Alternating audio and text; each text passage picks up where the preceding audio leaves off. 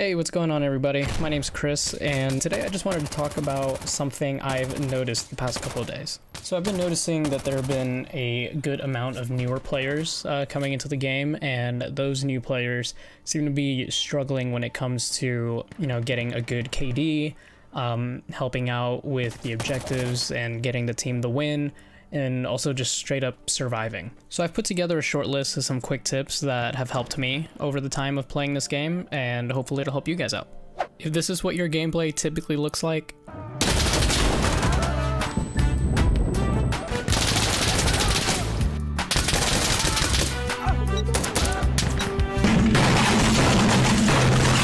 then let's find out why you suck at Insurgency Sandstorm. First reason why you suck at Sandstorm is that you're running around way too much and being way too aggressive. This isn't Call of Duty, and moving around too fast is a really good way to get yourself killed. A lot. If you want to be successful in this game and have a little bit more survivability, you're going to want to slow down and be a little bit more patient. One really easy way to fix your over-aggression is to pay attention to your sprinting you know, a lot of people, including myself, have played a lot of other games like Call of Duty or Battlefield that are a lot more fast paced and a lot more forgiving when it comes to uh, your health and the lethality of the weapons to where you can just sprint everywhere you want and there's not really any sort of consequence.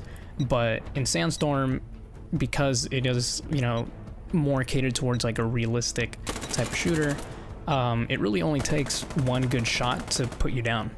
So my advice here would be to only use the sprint when you're actually moving from one piece of cover to another, or when it's the beginning of a round and you're trying to get to an advantageous position as quickly as possible. Other than that, for the most part, you want to be just using your normal run speed, um, you know, where you're not holding sprint and your gun is up, because that way you can actually shoot as soon as you see somebody, or if someone surprises you, um, and you don't have to wait for your gun to actually come up if you're sprinting and wanting to shoot. Um, also, take advantage of the walk. Um, if you hit your walk key, you slow down a lot, but your footsteps actually go completely silent, and it's just a lot easier to line up a shot and, you know, stay a little bit stealthy. Reason number two of why you suck at Sandstorm is not properly utilizing your role or class. The game gives you a pretty good amount of different roles to play. Um, you know, depending if you want to be a breacher and you want to be like inside the buildings, up in the enemy's face, or if you want to be a sniper, um, sitting a bit away, picking people off, helping your team that way. Uh, but from what I've noticed, especially with the new players, is that they're not utilizing their roles or their class's strengths as much as they could, and ultimately it makes it a little more difficult um, for people to actually be successful at playing the game. A couple examples I can think of right off the bat is if you choose the Breacher class, you're given SMGs and shotguns.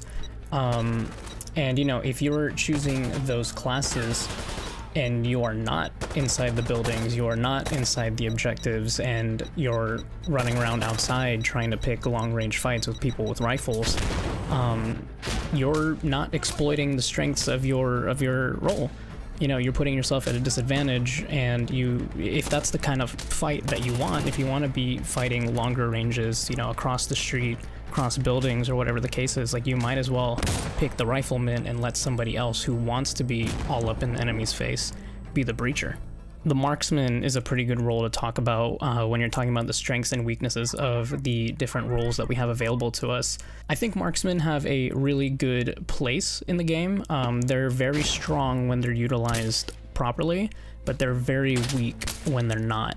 You know, for example, um, a marksman that would be considered strong would be one that's actually really supporting his team, whether that's moving forward onto an objective or defending an objective.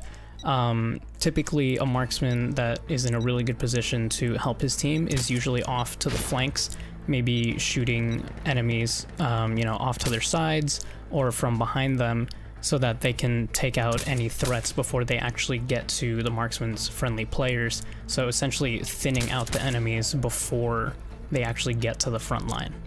Now, the opposite of that is what I usually see new players that are using the marksman role uh, typically do, whether that's sitting way in the back of their spawn and trying to shoot the enemies from like hundreds of meters away, missing every single shot and not helping the team at all, or slapping on all the super fast attachments and being right up in the front lines trying to quick scope everybody. Again, I'm bringing it up again. It's not Call of Duty. That's not really the place to do it here. Yeah, you can kind of get away with it sometimes, but it's not really helping. Plus, you don't need a grip on a bolt action rifle. Stop it. Get some help.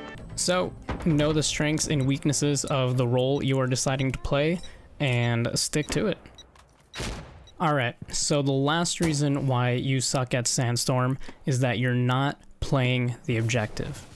At the end of the day, this is a team game and it's pretty hard to be a one-man army. With that being said, I think the most important tip I can give in this whole video is that your KD does not matter.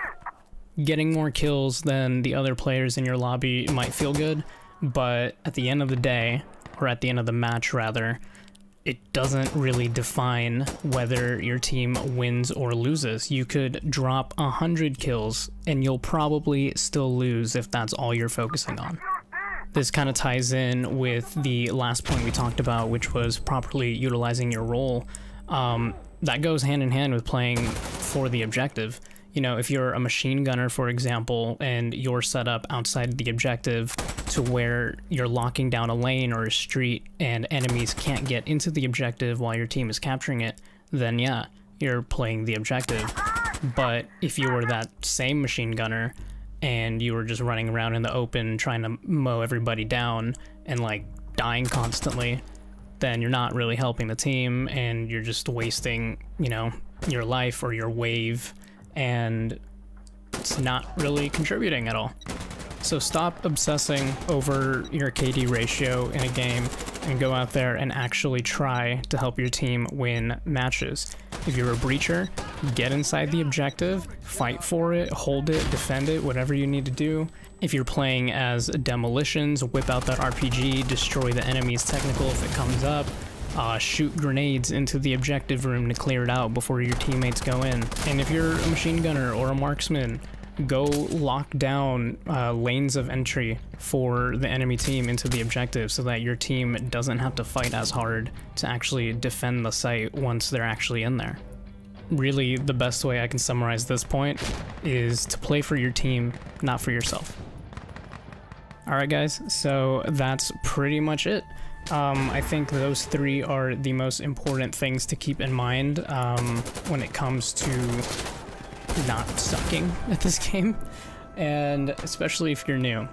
Leave a comment down below if you're guilty of any of these three points we talked about today. And last but not least, guys, if you liked the video, hit that thumbs up. Uh, if you didn't like it, hit that thumbs down, and leave me a comment down below on what you didn't like about it so I know what to improve on in the future. I'm a brand new gaming content creator, so not exactly sure what I'm doing. I'm just kind of going along with what I'm enjoying. But any feedback you guys have, whether it's positive or negative, it's super helpful so that I know what to fix if there are things that need fixing and so that, you know, it helps me understand how to create more entertaining content for you guys to watch and for me to create. And if you guys liked this kind of content and want to see what else I'm going to come up with on the channel, then feel free to hit that subscribe button and uh, let's start building a little community. Alright guys, that's about it. Um, I hope you're having a great day, great night, wherever you are, and I'll see you in the next one.